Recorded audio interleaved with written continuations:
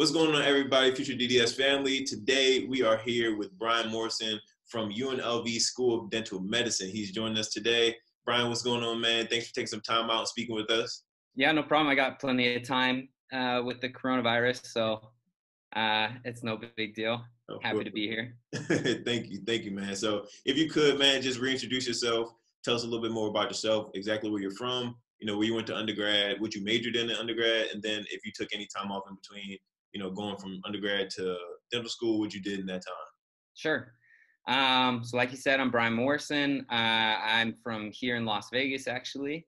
Um, but I did my undergrad at BYU up in Provo. Uh, I was an exercise science major up there, and uh, took me five years to do my undergrad. But um, straight out undergrad, I ended up here at UNLV for dental school.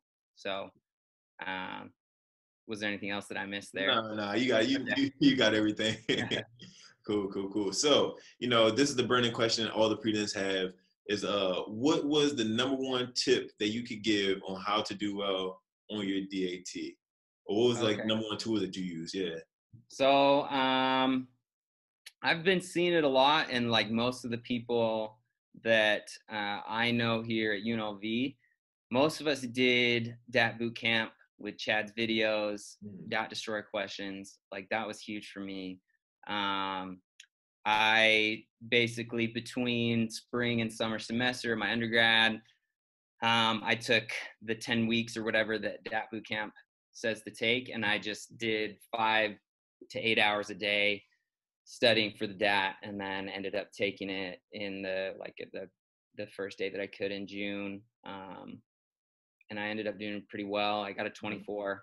Nice. So I would say, um, you know, that like it really prepared me. It's it's most similar, I would say, to how like the actual DAT was, where the like the boot camp questions and the DAT destroy questions. So Gosh, you guys, you worked out first time, man. yeah, good, good. I was lucky. I know not everybody's that lucky, but I don't know. It was really. I think with it, like the schedule, the how regimented it was, and how like specific it was of everything that you need to study that day, mm-hmm. um, was really helpful for me. It kind of guided my study. I don't know, the DAT can seem kind of overwhelming. Yeah. You don't yeah. really know what to like expect, what's going to be on there. But I feel like with DAT Bootcamp, it it kind of focuses on the stuff that's important and uh, gets you really ready. Got you, got you, got you. So, you know, for anyone that's, you know, specifically looking at UNLV um, and thinking about applying there, what type of, or, you know, first off, do you guys have any uh, kind of enrichment programs or what type of enrichment programs do you guys have there? If it's whether it's an impressions day or maybe like a feeder master's program or undergrad type of program, like um, you guys have? so I know that they have. Um, I didn't go to UNLV specifically for undergrad, so I'm not like super familiar with everything that they have. But I know that they have a um, a really good pre-dent society. I don't know if it's a club or whatever, but they um, every every month we do a, a, Saturday clinic for veterans and a Saturday clinic for children's, and I always see the pre-dent society there. They get to assist. They get to see what it's like to work with patients. They get to see how dental school students have to go through clinic and work with um, like doctors in the clinic and how that like relationship goes. Um, and they also get to serve like you're working on veterans and people that are you know serve our country or you're working on underserved children. And I don't know, it's really rewarding for them, and it's something I think that goes a little beyond um, just shadowing because you actually get to like get in there and assist and rather than you're just like watching or whatever but you're like in there learning how to use i don't know if you guys use axiom but you're getting in there and you're you're seeing how to like I ha- i've had pre-dent students chart for me in axiom and stuff and so they're kind of like learning that um, and i know they do like other activities i'm not i wish i was more familiar with what unlv itself did as far as pre-dent but it's much more of an active pre-dent society, I would say, than at BYU where I went to undergrad. Got you, got you, got you. So, you know, uh, you know, thinking back to, you know, after you finished taking your DAT and you were applying to schools, um, first off, is UN was UNLV pretty much the one school you applied to, and then on top of that, if you kind of take us through the interview process that you had at UNLV. Sure. So um, UNLV wasn't the only school I applied to, but it was my number one school just because it was close to family. Mm-hmm. Um, I was going to get in-state tuition, which would made it significantly cheaper than some other schools. Like I, I applied to like AT Still and Midwestern, and those were going to be a little more expensive just because they're private schools. This is a public school, and um, but so that was kind of my thought process. Is I wanted to be close to the family, wanted to make it more affordable. Um, and because I was a resident of Nevada, it was like a little bit easier to get in here. I had a better shot of getting in here. So right. um, that was kind of my thought process with it. Um, the interview actually was, I don't know, it was a lot less intimidating at UNLV than I like built it up in my mind to be. Um, when I got there, it was everybody was very cool, very chill. Like they were excited for us to be there it was almost like they were trying to sell us on the school rather than vice versa. We were trying to sell them. Um, but you know, everybody that I met that day was very friendly. They were very um, informative about the school and like excited for us to be there. So um, I don't know. It. I remember walking out of the interview being a lot more relieved about um, my chances at UNLV than like coming into the interview. So that was kind of good. I don't know. Um, so I guess uh, if you could take me through like how the day was, like sure. you guys go on a tour first, and then you have your, uh, I guess like your one-on-one interviews. Is it a group interview? If you could kind of walk me through some of the specifics with that. Yeah, so a lot of the day is learning about UNLV. So they'll do like uh, information about um, kind of the demographics of the school, like who gets in, who who uh, what the which each class is made up of, like um, where they where they applied from, what states they're from, things like that. Um, you learn about like the cost and the tuition. They break that down for you. Um, I don't remember being like surprised at all about there was nothing they didn't like. Um, you know, when I eventually got to UNLV, it wasn't like it was like a bait and switch or something, but it it was like pretty good information, pretty accurate. Um, and then we eventually like went on a tour. They showed us the classrooms, they showed us the sim lab, they showed us the clinic, um, research labs, things like that. And um, eventually we had a so they do like a student interview where you interview with a one of the current students and then you interview with the faculty and they each uh, grade give you like a grade one to five of how how you did on your interview okay. uh, me personally the people that i've interviewed i've always just given them fives because you know you're kind of just looking for people that you don't want to that you want to be with like you you're not looking for you're kind of i don't know you're just kind of looking for people that you want to spend four years of your time with. It's uh, rather than fit, like fit judging them on who they are, um, if they're you know like if you fit in with them or whatever. It's just like, is this a good person? Is this a person gonna that's gonna um, be uh, pleasant to work with, regardless of who they are? you know. Got you, got you. I definitely I understand that. Yeah, for sure. Um, so uh, you know, after you finish your interview, you got your acceptance uh, you know, you finally show up to to campus as a, mm-hmm. a first year dental student. Could you kind of, uh, you know, take me through how that first year was for you? Um, you know, just take me through how the curriculum was, uh, as well as you know how you were kind of introduced into the clinic aspect of dental school. Sure. Yeah, I, I think at the beginning I forgot to mention I'm a DS3, okay. um, so I'm a little I'm I'm I'm gone through a lot of like the didactic courses and stuff like that. So uh, the the first year though was definitely the hardest year of dental school um, and it's the biggest adjustment to dental school.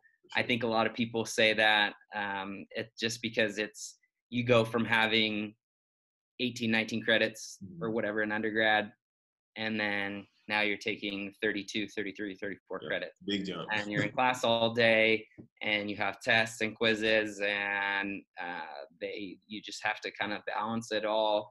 And um, it can be really overwhelming. But um, I don't know. It, it, was. I'm glad that it's over. but uh, but uh, it it was a tough time. I don't know. I don't I I don't know what else to say about it other than you know it's just something that every dental student has to go through. Um, but it's definitely now it's like it's worth it and kind of paid off. But yeah. while you're in it, it kind of feels like there's no end, and you're a little. Mm-hmm. It's you're definitely stressed studying your tail off. Um, do you guys have uh do you guys start doing uh like I guess dental specific classes in your first year or is it pretty much all science science classes? Do you guys test um, clinic at all? Yeah, so one of the good things about UNLV is that they try to get you into clinic very early. Mm-hmm. Um, so by the end of your or by the end of your first year, uh, start of the second year, you're in clinic and you're actually seeing hygiene patients and doing prophies and things like that. Um, so the first year they kind of break you in a little early. Like the first semester, you do waxing and you learn how to wax teeth and learn about dental anatomy. Um, your second semester, you start doing like fillings. You do you do regular like class ones, class twos, things like that. Um, and then by your third semester, you're doing crowns and you're doing uh, kind of more advanced uh, operative stuff. So uh, they do a really good job, I think, of getting you ready because they kind of break you in um, early. They get you going. They get you ready to um, get into the clinic early, um, just because they feel like that's super important. Got you, got you, got you. So you know we're gonna start wrapping up here. Uh, you know I got a few more questions for you though. So if you could, you know, think of and, and I'm sure this is going to be very subjective because you only have one one dental school experience, but what is something that you feel like is very unique about your school, about UNLV in particular? Okay.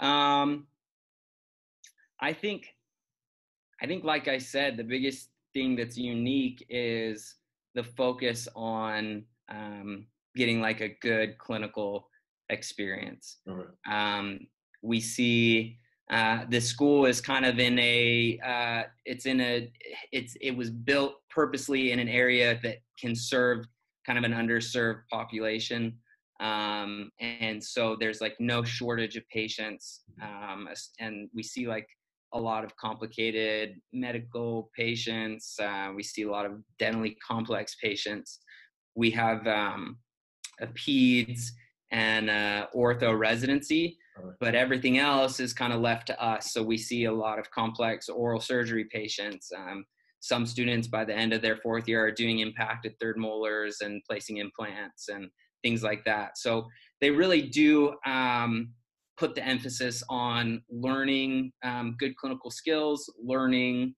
um, how to treat people that are going to be your more difficult patients when you get into private practice and making sure that you treat them safely and um, giving them like good care.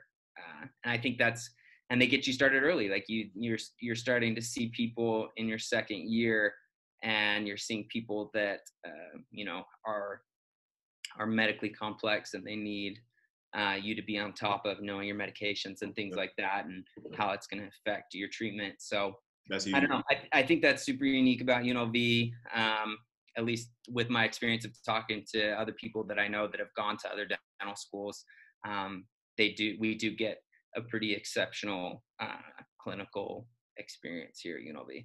Nice, nice, nice. So just to wrap up here, uh, I got one more question. I, I just want you to uh, kind of put yourself in the shoes of of younger you while you were applying. If you could go back, you know, now and tell that version of you when you were applying to school and really, you know, fighting to get into dental school, if you could tell uh, that version of you one thing, you know, give them any type of advice, what would that be? Um, I would tell that person, um, I don't know, not to that it's like there's a light at the end of the tunnel. I don't know, like I, I'm kind of at a point where I can kind of see myself being done with school. Oh. Um, I've gone through the hard stuff, um, and now it's kind of like just uh, kind of I'm kind of like in the motion of dental school. I would tell my my past self to not worry so much, like yes. kind of just just do the things that you know you're supposed to do, and like it's gonna work out. Like you know, if you study hard, if you if you um, you know get good grades, if you or you know if even even then like there there's always an opportunity. There's always a way to find yourself into dentistry, even if it takes a couple tries. Um, you know, sure. there, there's, you, I don't know, I, I, the people at Tufts, I'm sure there's people that you know in your class that it take them two, three, four times to get into dental school. There's people in my class that are 40 years old yeah. and they're, you know, they're in dental school and that's the, been their dream. So, and they're doing it now. And so I would just tell my past self to not worry about it so much and just take it one day at a time. And without a doubt, and you'll get there. Without a doubt, man. I, I couldn't agree with you more, man. Couldn't agree with you more, definitely. Uh, but you know, definitely again, we want to say thank you taking some time out again. Uh, you know, but if anybody has any questions for you uh, about UNLV or maybe more about your journey, about you know specific questions about you and your experience in school so far, how could they best reach you? So I'm on Instagram. Uh, my Instagram username is Mac underscore Ritchie, R I T C H I E. Um, you can find me on there.